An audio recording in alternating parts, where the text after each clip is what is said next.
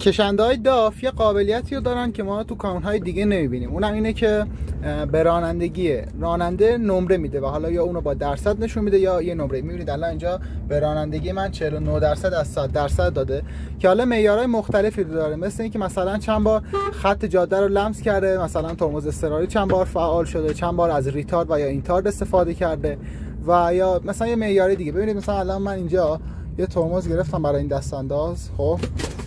و بعدش به من اینجا نوع ترمز گرفتنم و امتیاز میده. می‌بینید الان من مثلا یه دونه تیکو از 5 تا تیکی که می‌شد بگیرم گرفتم که حالا در نوع خودش خیلی جالب و خوب بود گفتم بهتون بگم.